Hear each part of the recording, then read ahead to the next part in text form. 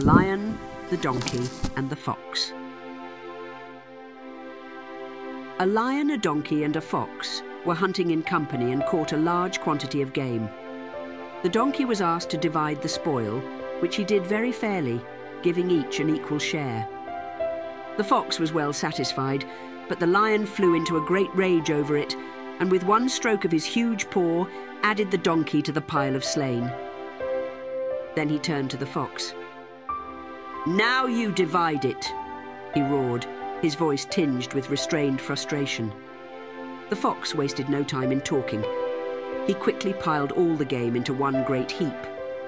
From this, he took only the least desirable bits, such as the horns and hooves of a mountain goat and the end of an ox's tail. The lion now recovered his good humour entirely. Who taught you to divide so fairly? he asked pleasantly. I learned a lesson from the donkey, replied the fox, carefully edging away. The moral of the story is, always learn from the misfortunes of others.